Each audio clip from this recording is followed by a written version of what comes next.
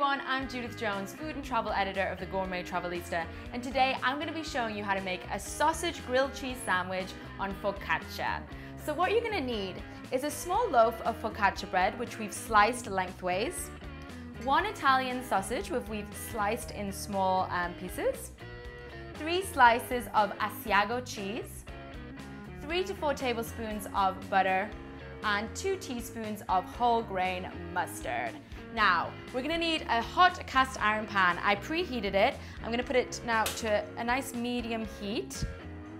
And we're gonna get our butter going. Now, with grilled cheeses, it's always good to be generous with the butter. So we're gonna put all of that in there and let it melt. And it's okay for it to go a nice kind of browny color because that's gonna give a good color to our bread as well.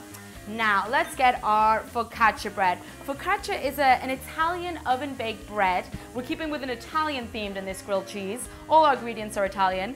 And uh, we've sliced it lengthways. And what we're gonna do is smother some of this nice whole grain mustard on both sides. Now focaccia bread, oftentimes it comes seasoned with onions or cheese. Ours is slightly seasoned with cheese as well on the other side. So we're gonna put that right there. Delicious.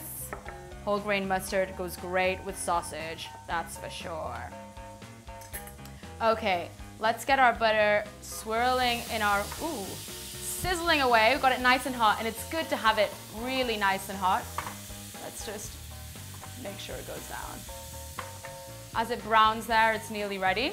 So we're using Asiago cheese. Now Asiago is an Italian semi-hard cheese from uh, the region of Venezia in Italy. So we're gonna be using that cheese. It's a similar taste and consistency of a Parmesan or a Pecorino. So if you can't find a Asiago, you can get one of those instead. So as that is really nicely buttered, we're gonna pop in both of our focaccia breads with our mustard side up. And we're gonna let that go and brown a little bit. The cast iron uh, pan is great for this because it's it keeps in the heat and it lets it brown nicely. Now as that's going, we're gonna add, break down some of this cheese and add it on both sides. There we go. Lovely, so we're gonna get that cheese melt a little and let that um, bread brown a little for a couple of minutes. So as that bread is browning, on one side of our bread, we're gonna lay down an Italian sausage, which we've already cooked. We cooked it for about 15 minutes, fried it, and we've sliced it in very thin slices, and we're just gonna lay that down on top of the cheese. Like so. Ooh, and you can smell that going already. That smells good. Now, we're gonna keep that side down, and we are gonna flip this side of the bread on top of the sausage. We've overloaded our sandwich here, but it's gonna be good. So let's let that um, ooze in a little bit.